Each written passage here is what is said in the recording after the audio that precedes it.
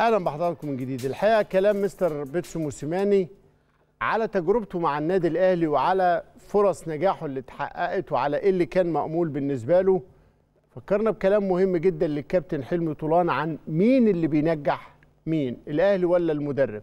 قبل ما نشوف كلام الكابتن حلمي المهم ده هتشوفوا الواد وابوه في جونين سبحان الله من شابه أباه فما ظلم. نشوف جون الابن وبعد كده نشوف أبوه اللي جابه. محمد عبد الله بيلعب كرة عرضية داخل منطقة الجزاء منتهى الخطورة وترجع مرة ثانية حلوة يا ولد يا ولد يا ولد على الجول الثاني يا سلام على الجول الثاني الجميل وتصويبة روعة تصويبة جميلة جدا. يا يوسف يا عبد الحفيظ النهارده يومك. الهدف الثاني في مباراة اليوم مع ذكر الأهداف أدي الكرة العرضية وأدي الكرة شوف التمركز بقى ليوسف عبد الحفيظ وتصويبه زي ما جت على يمين حارس المرمى عبد المنعم تامر علشان يسجل الهدف الثاني للنادي الأهلي وليه على المستوى الشخصي. طيب ده جون الابن.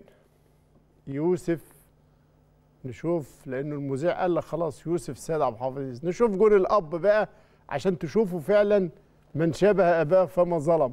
لأنه كابتن سيد عبد الحفيظ في مباراة للأهلي مع المصري سبحان الله جاب نفس الشوطة ديت. نشوفها. لعمارة وعمارة بيعمل الكورة من عليه وسيد عبد الحفيظ! وجول جول جول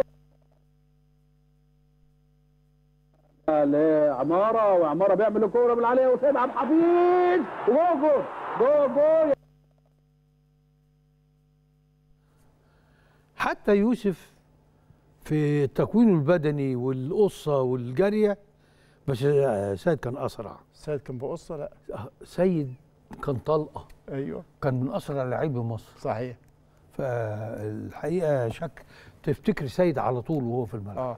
لا بس يوسف ميلت جسمه لورا ومرجحه رجله. جينات. آه. نفس الوضع التشريحي في ميلة الجسم سبحان الله. طيب ربنا يوفق إن شاء الله تعالى. ونفس الزاوية نفس المكان اللي الكرة جت فيها.